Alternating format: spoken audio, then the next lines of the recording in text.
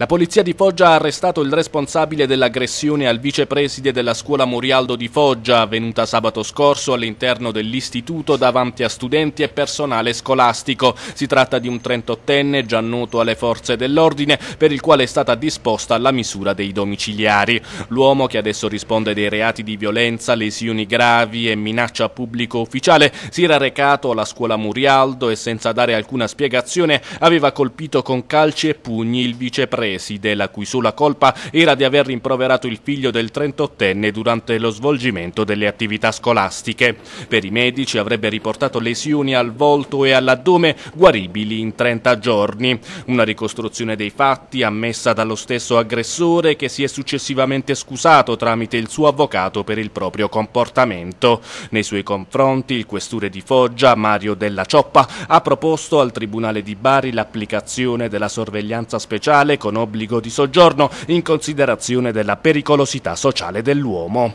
È già tornato a scuola, invece frequenta regolarmente le lezioni il ragazzo trovatosi suo malgrado al centro dell'incresciosa vicenda. Lo ha reso noto la preside dell'istituto che ha anche assicurato che il giovane non subirà ripercussioni per quanto avvenuto.